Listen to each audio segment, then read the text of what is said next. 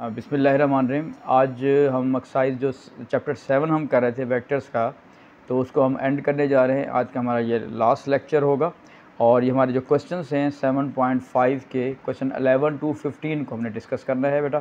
ठीक है? उम्मीद है कि आपने सारे लेक्चर्स देखे होंगे।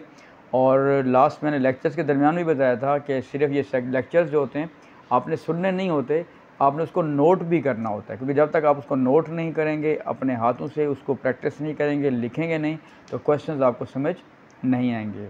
ठीक है जी तो हम आज के आलमोस्ट लास्ट लेक्चर की तरफ़ जा रहे हैं, जो हमारा चैप्टर नंबर सेवन का है क्वेश्चन नंबर अलेवन से स्टार्ट करते हैं।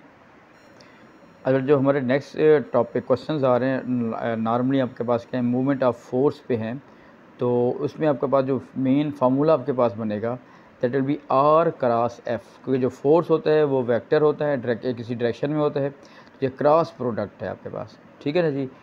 जो आपके पास जो वर्क हमने जो पिछले वीडियोज़ में हमने किया था वर्क का कॉन्सेप्ट यूज़ किया था that was a dot product ठीक है? वो क्योंकि स्केलर था। लेकिन क्योंकि जो मूवमेंट है आपके पास, आप फोर्स की किसी तरफ़ मूव करती है कोई चीज़ तो वहाँ पे एक डायरेक्शन की तरफ़ वो मूव करेगी तो that will be a cross product तो इसका फार्मूला बेटा क्या है? आर क्रॉस एफ़ ठीक है? आर जो है वो पोजीशन वेक्टर है। और एफ़ क्या है जी? फोर्स है। तो इसके क्वेश्चन हम रिलेटेड करते हैं बेटा। अब बेटा क्वेश्चन नंबर हम अलेवन पे आ रहे हैं। एक क्वेश्चन आपके पास है। A force F is applied at the point one minus one to find the movement of the force about the point this one ठीक है? फोर्स आपको दी हुई है। Is applied to the point this one और find the movement of the force about the point ठीक है बेटा? कोशिश ये क्या करेंगे, पहले आपके पास जो समरी होती है वो लिख लिया करें कि फोर्स का दिया हुआ है, ये पॉइंट्स कौन से दिए हुए हैं? अब तो देखिए, इसका किस तरह अप्लाई करेंगे, ज़रा देखिएगा कि फोर्स बेटा दी हुई है आपको three i plus two j minus four k is applied at this point ठीक है? फोर्स को जो है ना, इस पॉइंट पे क्या किया हुआ है? अप्लाई किया हुआ है। We have to find movement about the point एक पॉइंट आपको दिया हुआ है टू माइनस वन और थ्री तो देखिएगा, ये आपके पास जब डायग्राम बना लेंगे तो ये ओ पी और इस पर फोर्स अप्लाई करेंगे हम यहाँ से। तो देखें O P is equal to r यानी कि आपका जो आर पोजिशन वैक्टर है दैट इज़ ओ पी तो ओ पी हमारे पास क्या है? ये ओ पॉइंट हो गया बेटा, और ये पॉइंट क्या हो गया? पी तो आप क्या करेंगे?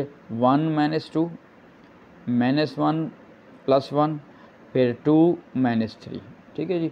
तो आपके पास क्या वेक्टर आ गया है? यानी पोजिशन वेक्टर आ गया माइनस वन ज़ीरो और माइनस वन उसके बाद देखें, ये क्योंकि आई है, ये जे है और ये के की फॉर्म में आ गई। अब मूवमेंट हमने निकालनी है तो मूवमेंट का फार्मूला है आर क्रॉस एफ़ पर आई जे के लिखेंगे?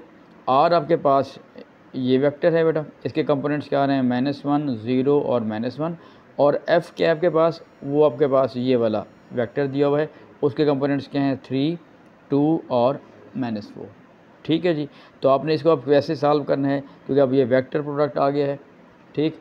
तो जिसमें आई लगाएँगे, जिस रो में है, वो कैंसिल करेंगे बेटा, जिस कॉलम में वो कैंसिल होगा तो ज़ीरो माइनस वन टू और माइनस फोर ठीक है? तो क्या बन जाएगा? इसको अगर डायरेक्ट करूँ तो ये माइनस ज़ीरो और प्लस का टू आ जाएगा। ठीक हो गया? फिर जब माइनस जे लगाएँगे, ये कैंसिल ये कैंसिल प्लस फोर और माइनस का थ्री फिर जब हम के की बात करेंगे प्लस के तो ये बन जाएगा माइनस टू और प्लस ज़ीरो तो ये देखें two i plus minus seven j और माइनस का टू के आपका ये आंसर आ जाएगा। ठीक है जी? बड़ा क्वेश्चन नंबर ट्वेल्व देखिएगा। A force F is equal to four I minus three K passes through the point A two minus two five find the movement of F about the point B one minus three और one बड़ा देखिए, इसमें question force आपको दी हुई है। The force passing through the point this one. ठीक हो गया? ए है two minus two five then A will point of action के, अब जब ए होगा, वो क्या होगा? पॉइंट ऑफ़ एक्शन होगा। We are to find movement about B हमने बी की जो है मूवमेंट निकालनी है। तो बेसिकली क्या है कि बी ए ये आपके पास पोजीशन वेक्टर हो गया, जिसको हम आर से डिनोट कर रहे हैं। तो पहले हम आर की वैल्यू निकालेंगे तो ओ बी मैंने, यानी कि ये बी ए निकाला है हमने, क्योंकि ट्रैक्शन ये आ रही है। तो होगा ओ ए माइनस ओ बी तो आपके पास जो पॉइंट्स दिए हुए हैं ए के भी पॉइंट्स भी दिए हुए हैं और बी के भी। तो ओ ए माइनस ओ बी क्या करेंगे? Two minus one minus two plus three five minus one ये सारा आ गया आपके पास। आर आ गया जी। और एफ़ आपके पास क्या वेक्टर दिया हुआ है? कि फोर आई माइनस थ्री के तो वही बात हमने करने के मूवमेंट का फार्मूला क्या है जी। आर क्रॉस एफ़ तो यहाँ पे बेटा आपका क्रॉस प्रोडक्ट हो गया। ठीक है? ये आपका इसका प्लीज़ देख लीजिएगा। और पास करके पहले सारे क्वेश्चंस नोट किया करें, खुद किया करें, इस तरह प्रैक्टिस आपकी हो जाएगी। अच्छा जी क्वेश्चन नंबर फोर्टीन देखिएगा। Find the movement about A है आपके पास। One one one of each of the concurrent forces concurrent forces होते हैं जो एक ही पॉइंट पे अप्लाई हो रही होती हैं। फोर्सेस आपको दी हुई हैं जी तीन। आई माइनस टू जे और आपके पास दूसरा है कि three I plus two J minus K और नेक्स्ट फोर्स है आपके पास five J plus two K where P आपको पॉइंट दिया हुआ है two zero one is their point of concurrency तो इसमें देखिए कैसे करेंगे, ज़रा प्लीज़ देखिएगा। ये point of P of concurrency है और अबाउट टू हमने ओ इसके निकालने हैं मूवमेंट निकालना है। अबाउट टू ए सॉरी ठीक है ना जी? अबाउट मूव आपके पास क्या है? एक्टिंग एट पॉइंट ये वाला हमारे पास है अबाउट ए अबाउट ए जब होगा तो यहाँ पे ए यहाँ पे आ जाएगा। अब पॉइंट ऑफ़ कॉन्करेंट जो है, सारी फोर्सेज कहाँ पे मिल रही हैं जी? इस पॉइंट पे मिल रही हैं। इसका एफ़ वन है एफ़ टू है और एफ़ थ्री है।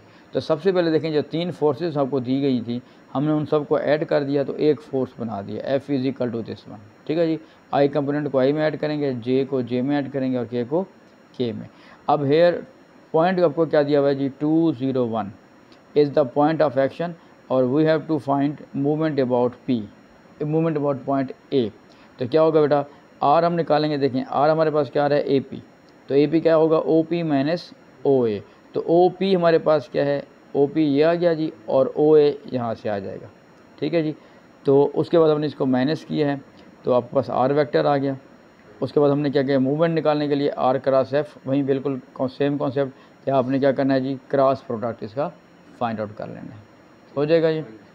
चलिए इसको रिपीट में करूँ बेटा। जब तक आप इसको कंप्लीट खुद नहीं करेंगे बाई हैंड नहीं करेंगे प्रैक्टिस नहीं करेंगे क्वेश्चंस आपको समझ ज़्यादा नहीं आएँगे, फिर आप लोग भूल जाएँगे। हाँ जी, ये अगर क्वेश्चन फिफ्टीन है।